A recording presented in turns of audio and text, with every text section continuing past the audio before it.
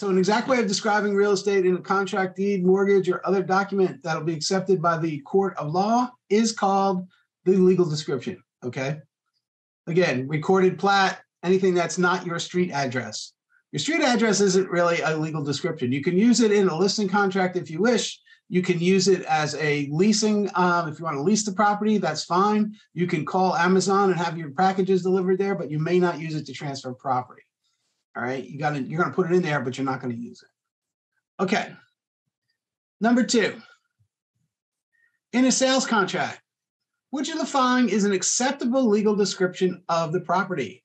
Okay, and it is a metes and bounds description, right? MLS has nothing to do with it. All right. Johnson property on Maple Street does not, nor does the lot number. It would have to be lot, block, section number, subdivision. It would have to be the whole thing. Lot, block, lot number alone is not enough. So the metes and bounds description is the one that we would use as the legal description. And during those, uh, when we do metes and bounds, we're going to be using monuments. All right, monuments, and um, we'll probably have a stake in the ground somewhere now in the current days. They'll put a piece of steel in the ground so they can find these monuments. Because back in the day when they first started this, they had trees and rocks. Those things move over time, right? So number three, a monument is used in which of the following types of legal descriptions? And the answer is B, metes and bounds. Okay, metes and bounds. Number four, in describing real estate, the system that uses feet, degrees, and natural markers is the metes and bounds description. Pretty much what we just said. Pretty much what we just said. Number five, if the property being transferred is residential property with an established subdivision, the most common legally used description would be the reference to the recorded plat. This would be your lot block section number, right? Subdivision name. That's the reference to a recorded plat. You'd also have a tax map number or a PIN number, property identification number. Either way, you'd have all of that. You'd have all of that. Number six, a street address would be adequately would be adequate property description for a short-term lease. It's okay to use a street address for leasing, for listings. You don't need all of that detail. All right. Um, seven, eight, nine. I'll let you look at later. It is the uh, there's a picture of a uh, of a unit. Just know that the answer is C, C, and D for seven, eight, nine. Um, just make for that later. You can see that map at the end of these questions. Skip to number 10.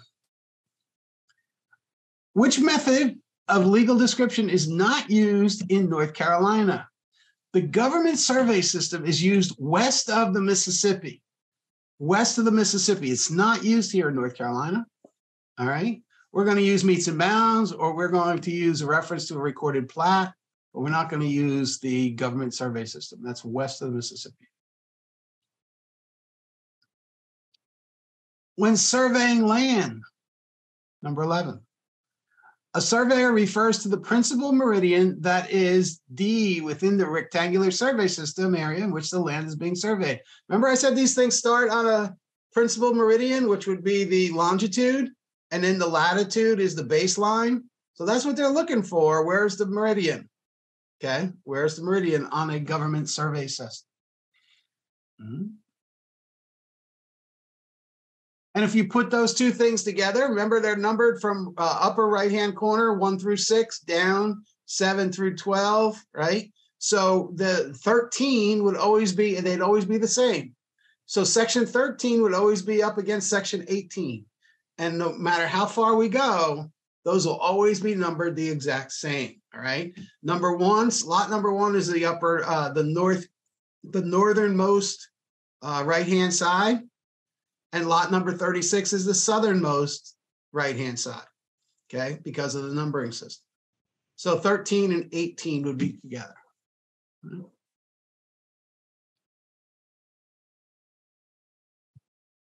Number 13.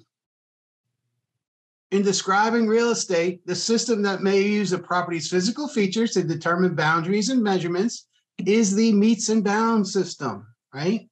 Metes and bounds system, that's what we're using right? Rocks, trees, whatever, monuments, how we get them. Now, government survey system again, one section. If we have a section, we have six by six townships, six miles wide, six miles tall, right? Inside there, we have 36 of these sections, one square mile. Each square mile has 640 acres, and they're all part of this township. So therefore, number 14 is all of these, D. A section is one square mile, is 640 acres, and is part of that township. Is part of that township. Yeah.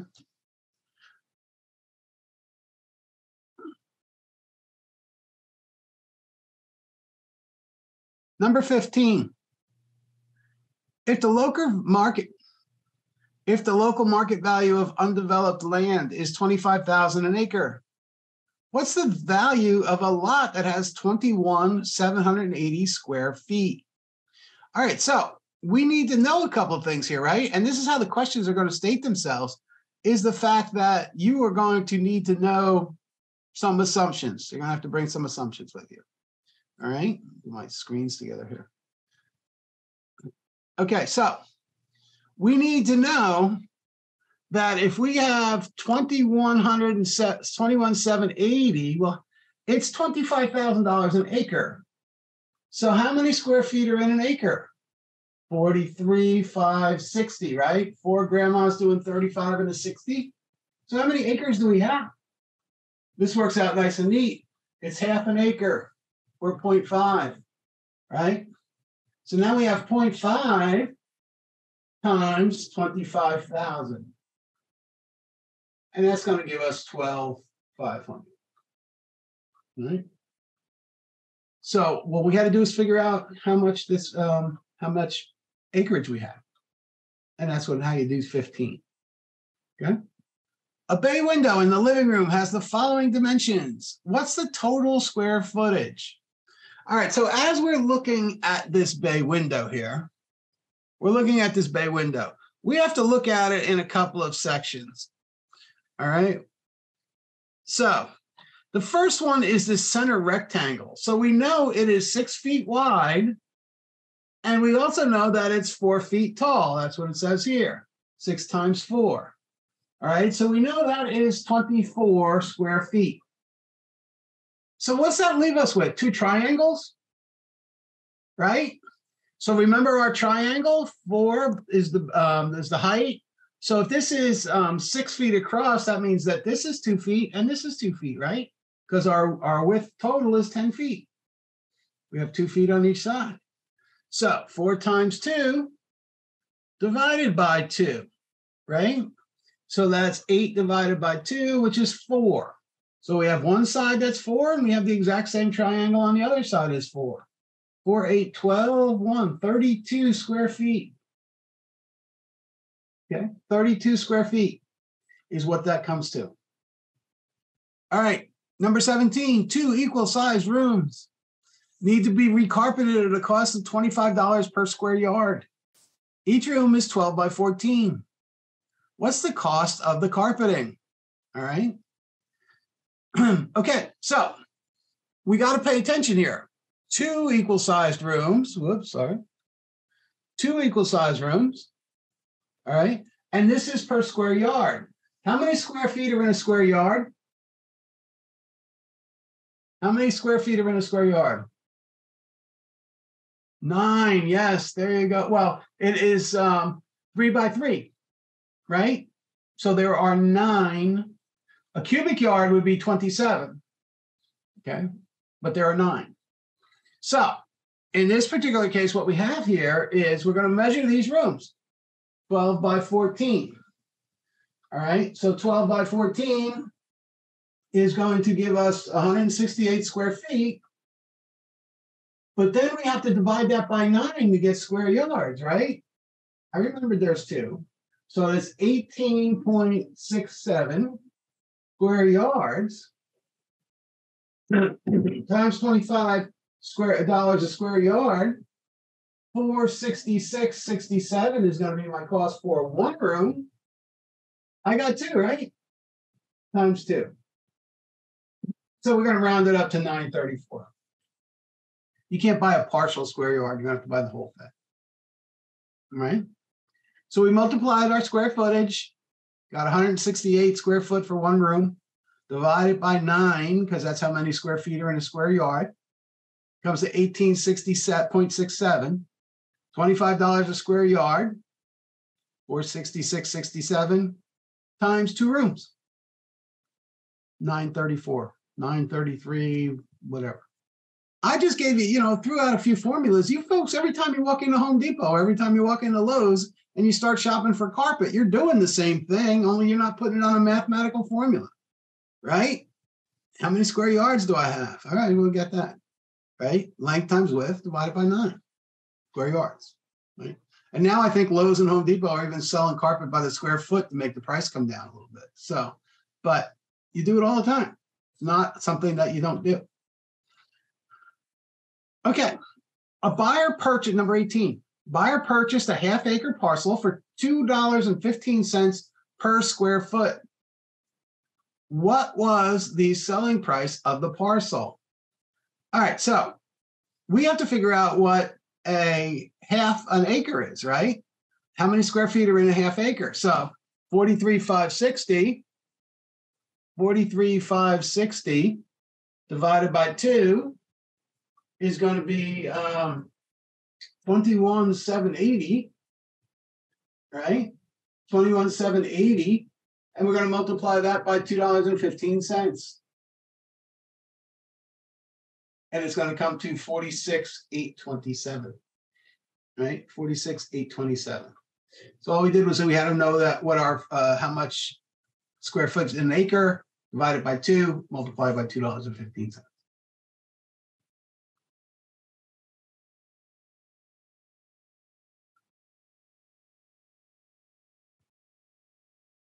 Number 19. A rectangular parcel of land was purchased, um, purchased that contains 350 acres with 1,300 feet of road frontage. Did anybody do this question? Takes a little bit of work. This is one that takes a little bit of thought and a little bit of work. Okay. But I can't say that you won't get something like this and real life gets in your way, right? It's not always neat. Okay.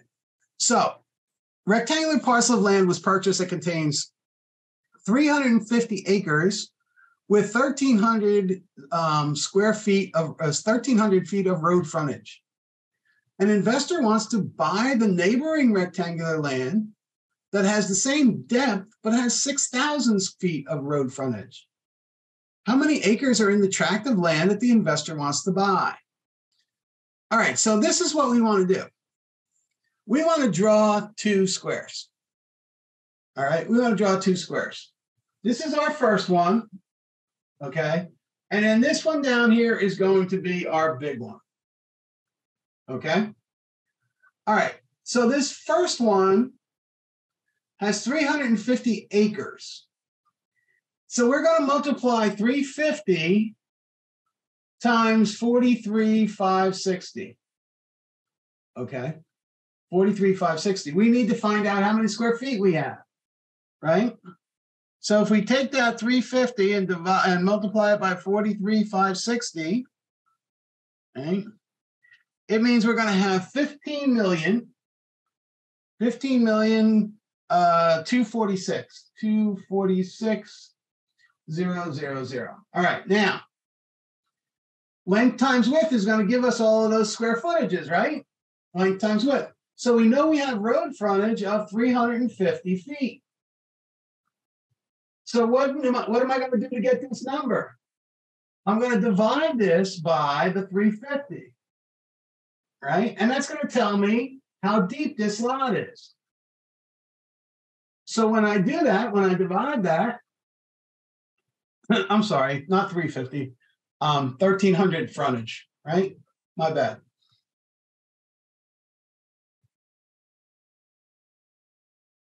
I have 1300. So I'm going to divide that by 1300. Right? And that's going to give me my depth. So when I do that, it's going to mean that I am 11,727.692. 0.692. Put them in your calculator. Don't be afraid of large numbers, okay? Don't be afraid of large numbers. Okay, so we figured out that part, and we needed that was the part we needed to figure out how many acres because we have 6,000 square uh, frontage feet here. We don't know how many acres there are. That's what we're going to solve for. But we do know what our depth is. Right? Because we did it here. We have the same depth. So when we multiply those, we're going to end up with 70 million 366 152. That's what we're going to end up with. And what are we going to do? We want how many acres? Divided by 43,560. 43,560.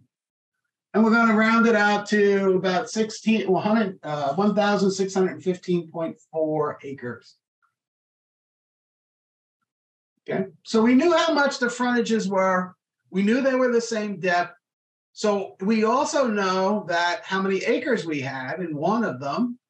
So length times width, right? Width times depth is going to give us square footage.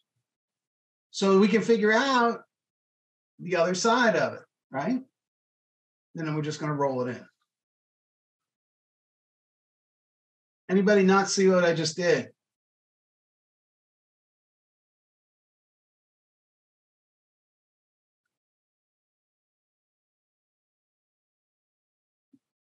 Right.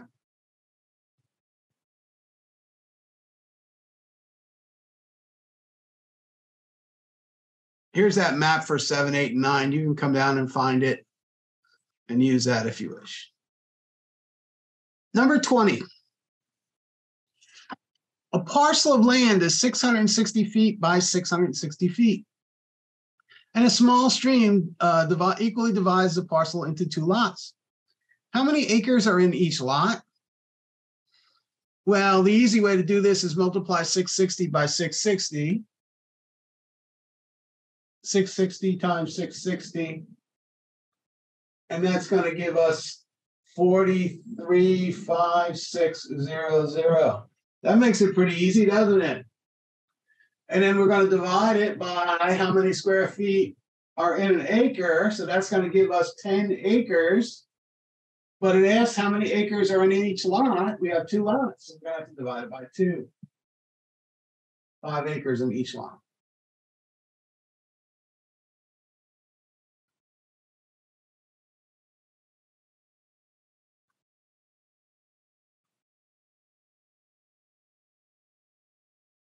Okay. Last one here. If you purchase a lot that's 125 by 150 for 65, uh, 64, 68, and 75 cents, what price did you pay per front foot? All right. I'm not sure if we mentioned this the other day, but the front footage is always decided by the road. But if they don't tell you which side is against the road, the first number is your front footage. Okay. So whenever you see a diagram, they don't tell you which one is the front. The first number in the uh, multiplier is the frontage. So in this particular case, we have 125. So we have 64, 68, and 75 cents. And we're going to divide that by 125. All right. And that's how much we paid for a front foot. 51.75. Just remember that if we're doing cubic, and we don't do too much cubic, but if we are doing cubic, you got to add height in there too. So it would be length times width times height. Okay. Um, sometimes you need that for a cement problem if you're going to pour a foundation or you're going to pour a patio or something of that nature. You may need that number, but that's the only time we'd really use cubes, cubics. Um, gave a different result. Oh, in this particular case, it would. Yeah, in this particular case, it would give you a different result because it asked you for the front footage. And the front footage, when it's put into the, if they ask for front footage, anytime you're talking about purchase or lot measurements, the front footage is always that first number. I, I, I don't have an empirical reason why, they just do it that way. Okay. Same thing with um, that you need to know. So if I said a lot is 200 by 450, this 200 is the front footage. Also, when you see drawings, when you see drawings, if I was to draw this, I would say that anything on this left-hand boundary, that is considered your front footage. Okay? So if when you're looking at either a diagram or a multiplication problem that don't tell you which side is the front footage, if you're looking at the multiplication problem, it's the first number, that's the front footage. And if you're looking at a diagram, it is the number to the left, right? Whatever's on the left side of that diagram, that is the front footage. Okay. Particularly when it comes to, and only when it comes to front footage. That's the way they designate them in the books. All the texts are usually like that. Okay. In the event you get one, you'll see that it, that's usually the way it plays. All right, very good. All right, so let's review here very, very quickly where we left off in chapter five. We started talking about different types of deeds. And we talked specifically about four different types of deeds, right? And the first one was a general warranty deed. And this is the best one we can have. All right. This is the best one we can have. A general warranty deed is going to be uh, a deed that's conveyed. And now this is the one that's going to be asked for in the sales contract. In the sales contract, it's going to ask for a general warranty deed. If we give any other type of a general warranty deed or uh, any other type of deed, we have to do an amendment and change that, or actually an addendum and change that. Okay. Oh, let's talk there for a second. Hold on. Can anybody tell me the difference between an amendment and an addendum? An amendment and an addendum. So if something was already previously written in that contract and we're going to make an amendment that means we're going to change what's already been com- agreed to or what's already been in the boilerplate. If we're going to do an addendum, it means that it hadn't been addressed in that other portion, and we're just going to make a an addition to it, add, right? So mend is an amendment. We're going to tweak something. Add an addendum. We're going to add something to that. Okay. So the, you got to know the difference between the two. I know it's only nomenclature, but it matters, right? It's only words, but it matters. Okay. So a heads up on that. You are going to have to, you're going to get scrap paper. Do not be afraid to draw on your scrap paper. And I'm not kidding. I don't care if you got to use a crayon. I don't care if you got to use your pencil. If you draw something in your head and it comes out, it might trigger a thought. And it's perfectly okay. It's your it's your paper. Nobody's going to collect it. All right um, eight and nine. That's okay. We can do page eight now. There's only a few questions here. All right. So number three, Smith owns a parcel of land with 300 feet of road frontage and 120 feet of, let me get my pencil out, and 120 feet of depth.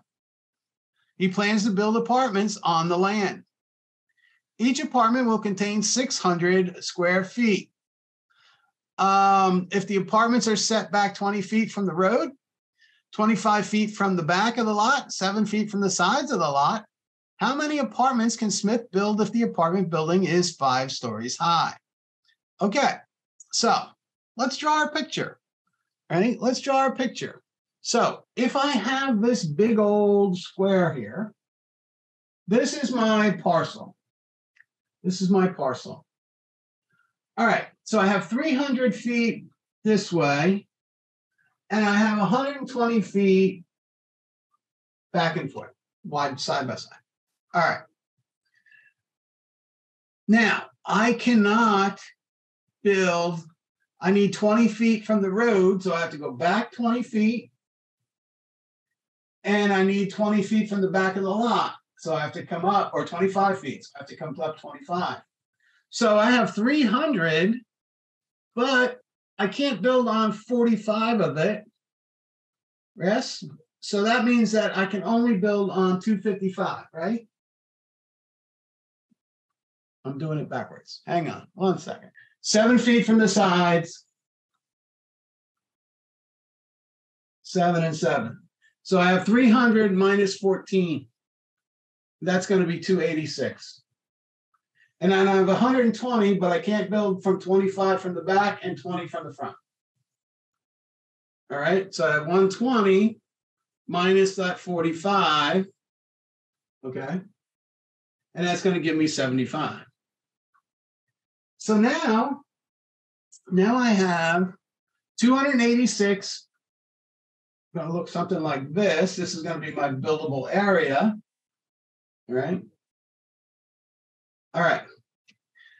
Multiply two, 286 times 75, and I'm going to get 21,450.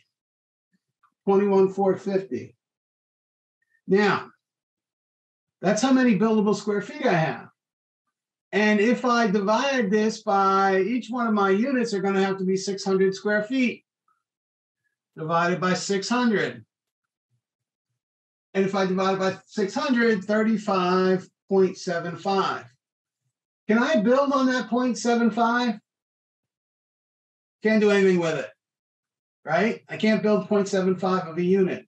So I can get 35 units in, a, in one floor, but what does it say? I got five stories. 35 times five, right? I can build 175 units. Okay. So I have 300 foot of frontage. I can't build from the left or the right, seven and seven. So I take that 14 off. Two, it gives me 286 buildable front feet. And I can't do uh, 25 from the back, 20 from the front. I only got 20, 120 foot of depth. So that means I can only build 75. I multiply the 286 by the 75, and that's going to give me 21,450. Each unit I can build has to be 600 square feet, 35.75. I can't do 0.75, so I got to get rid of them. I can only build 35 complete units. I have five stories tall. I get 175. A two-story house measures 25 feet by 50 feet. A one-story family room was added that measures 20 by 20. At a cost of $9.95 per square yard for carpet and $2.50 per square yard for installation, how much will it cost to carpet the house and family room? House and family room, right? So we have a couple of things here. Now, what we want to do is find out our cost per square yard. So we got um, when we're doing this here, we have 995 for the carpet and 250 for the um, for the installation, both square yards.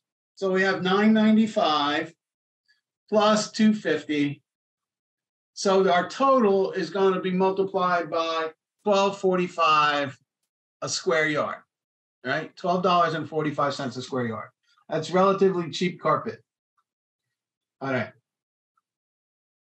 So we have a two-story house that measures 25 times 50. So we have 25 times 50 and then times two, right? Because we have two floors. So let's do that. And that should give us 2,500 square feet, square feet, right? Two times 50 is 100 times 25, 2,500. And then I built only a one level, one story family room that's 20 by 20. So 20 by 20 is going to be what? 400. So that means that I have 2,900 square feet. Square feet. I want square yards divided by nine, right? 322, 22. All right, 222 technically. All right. And then we're going to multiply that by our 1245. And it's going to come to a cost of 4, 40, 11, and 66 cents. All right. Um, while we're out here, I want to do one more because I think that this one is going to be one that you might you might want to understand. Number two, a triangular shaped lot has a road frontage of 500 feet and a depth of 620 feet. The owner agrees to sell the lot for $8,000 an acre. How much money per front foot will the owner receive if he sells the lot successfully? All right, how much per front foot? So, what we got to do here is got to do a couple things. We have to find out how many square feet so we can figure it out. Right. So, if we have a triangular shaped lot, triangular lot, so it is um, pretty much shaped like this. And any triangle works. Okay. We have road frontage of 500 and we have a depth of 620. So we're going to do what? Um, 500 times 620 divided by 2. All right. So 500 times 620 divided by 2 and that's going to be that's going to come to 155,000. Right? 55,000. We need to find out how many acres because that's how much we sold it for. 43,560. Right? We have 3.558 acres. We sold it for eight thousand dollars.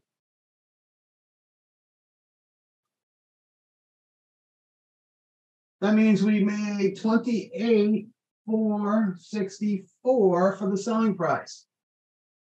But that's not what it asked me here. How much per front foot did I get? Well, how much was my front foot? It had road frontage of 500 feet.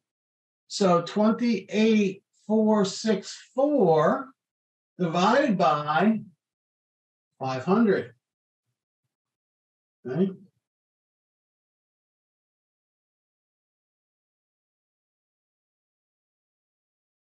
So you just have to add to the equation a little bit. You have to make sure you answer the whole thing. If you like this video, feel free to share it with a friend. For more real estate education content, please subscribe to the channel. From all of us at Seacoast Real Estate Academy, thank you for watching.